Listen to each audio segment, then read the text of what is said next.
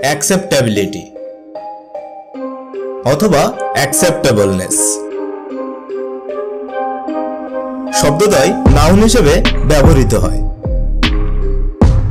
যার অর্থ হচ্ছে গ্রহণযোগ্যতা, মনোজ্ঞতা ইত্যাদি। এর ইংরেজি প্রতিশব্দ ব্যবহৃত হয়